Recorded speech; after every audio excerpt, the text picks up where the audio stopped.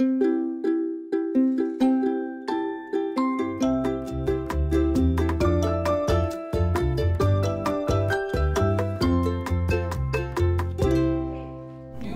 are working on an approach that, that says if we can have our students reaching appropriate literacy and numeracy achievement levels at the end of each of those key checkpoints or transition points through our system, then we believe that we can get more of them uh, across the stage at graduation.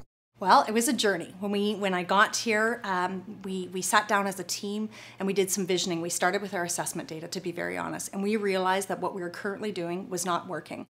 When we were first introduced with one of our assessments, I was unclear on how it actually linked to curriculum outcomes, but when you sat down and you broke apart the assessment and you linked it to the curriculum outcomes, made a lot more sense and it was easier to implement when I fully understood it.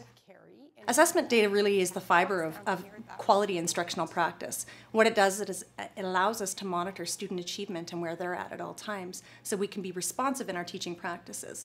Teachers sit down and score these common assessments as a team and then uh, talk about the data. What are our strengths? What are our opportunities for growth?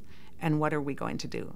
We use the data boards to guide our instruction on a daily basis. We bring them into our common collaborative time and we use them to see where all students are at in the areas of literacy.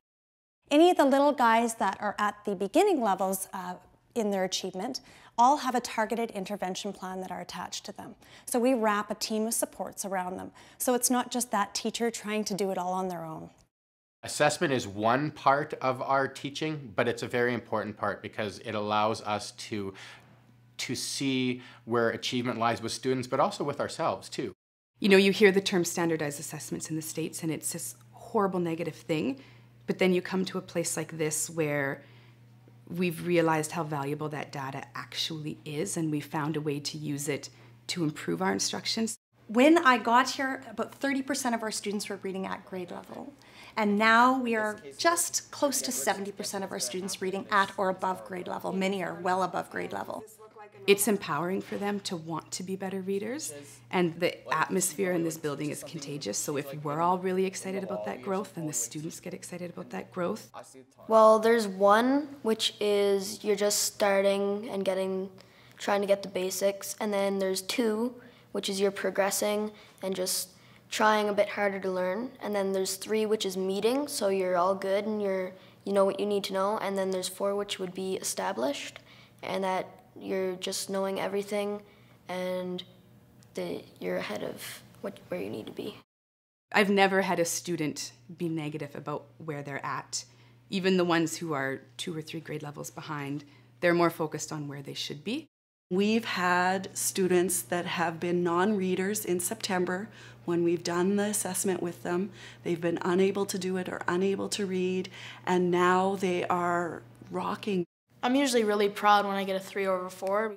It's really fun to bring the rubric home and have my whole family work on it. Well, we really have focused on student engagement because that's first and foremost. If we don't have our students engaged, they're not learning. Teacher's craft has to come into play. You need to have fun and be able to play with it, whether it's through an inquiry project, whether it's through uh, digital media projects, whatever it is that you need to use to engage your students. If we do our jobs well, most of those students won't even know that, uh, that it was hard work for us. Each of our students have their own special success story because we don't stop until they do.